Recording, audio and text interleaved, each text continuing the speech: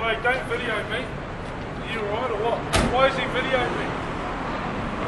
Just documenting me then. Video me, mate, watch out. This is a public area. I can video anything I want. I'll take it off you, mate. If you video me again, I'm going to take it off you. As long as you behave. I warned you. Tell him, mate. Don't video me. You hear me? I can You hear. me, man? Don't video me.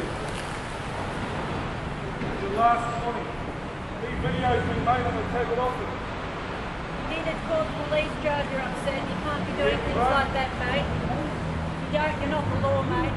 Tell him not to video me. You're not the You're law. threatening. Call Look, if, if you have an issue with it, you're more than welcome to call the police. You know we've got kids in this, man. And you know it too, man. You're not videoing me. We've been here before you. And you know we've got lots of kids in this van. And I know that you want to video me because you want to take footage of the kids. And I know that because I've been through this with this guy before. Tell your mate, don't video the van because we have a lot of kids. Do you understand? I do. you understand, man? Tell him good. Call me crazy, but uh, Laugh either, mate.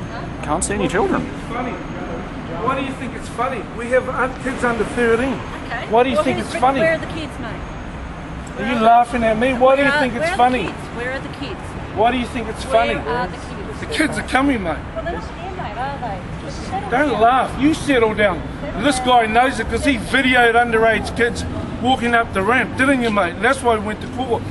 Mate, No, don't video me, I'm telling you. hit me. That's why. Right? to. And the court proved, didn't the judge prove it? What you did is videoing kids. I'm warning you guys, do not video us.